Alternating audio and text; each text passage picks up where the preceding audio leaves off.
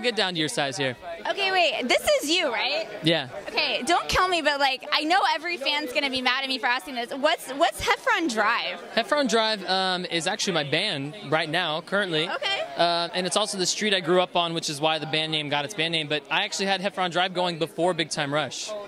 Really? And that's why I still have the Twitter, and that's why I always had it. But now that I'm now that I'm carrying on making music with it, uh, it's really helpful because everyone follows that Twitter, so it's really great. Now, where was Heffron Drive? Where did you grow It's in up? Burbank. Wait, you're like a Burbank local? I mean, I'm from Kansas, but I grew up in Burbank. Yeah. Okay, so where are your local spots? Well, I guess maybe you don't want to give them away because then No, people no, because. I don't really hang out in Burbank all that much anymore. I I moved. go to Olive Garden in Burbank. Oh, nice. Um, local spots, I would say BB's. BB's is a breakfast place in Burbank, right near where I grew up. Uh, also, uh, there's always Bob's Big Boy. Oh, classic, right? That's where I grew up. classic. Yeah, so you know. So my question for you, keeping with the spirit of this movie, 48 Hours to Live, God forbid, but if you had 48 hours, what would be just like your bucket list? Where would you go? What would you eat? What would you want to do? Who would you be calling? Take me there. If I had 48 hours, well, if I'd eat some really good food. All right. Something that's just like super tasty that you can't like, like if you're gonna have a last meal. I mean, let's talk about that. Like a last meal, what would you pick? If you had one, uh, if you had two days to pick your Olive meals. Garden. Just Olive Garden. this is a shout out to Olive Garden, by the way. I guess this totally turned They into. a sponsor this. No, so question, you do music, so who would be somebody you would want to cover a song with, like a If I had 48 hours to live. um, if I had to cover a classic song with somebody, I'm doing something with Stevie Wonder would be amazing. Ooh, that would be really good. He's really nice, by the There's way. There's plenty of people, but like that's a good one. Yeah.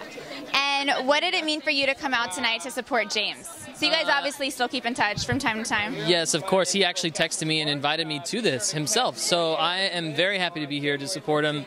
He's like my brother, and like you know, we pretty much spent like five years growing up together. So uh, I'm just happy to be here, and I honestly can't wait to see him on screen. It's going to be great. So question for you, people that grew up watching that show clearly like it was a you know a younger genre at the time. So who were the people you were watching the shows that you were obsessed with when when you were that age? Oh, I was watching Nickelodeon actually. I was watching all that, and, and um, I watched Figure It Out a lot. Summer Sanders. The I had a big 90s crush the on Summer 90s Sanders kid? when I was a kid. Um, so I was really big into the, the Nickelodeon game shows, and I was also watching Dexter's Lab at the time. Big Dexter's Lab fan. That's a callback. I, well, we do. We, how old are you? I actually dressed as Dexter for Halloween this last Halloween. Really? Yeah, it's pretty great. I feel like like Go all the young Instagram, people. Look at that photo. You'll be impressed. I really? did the costume myself. We should just go in your whole Insta. You have a lot of followers. Yes. What does that feel like?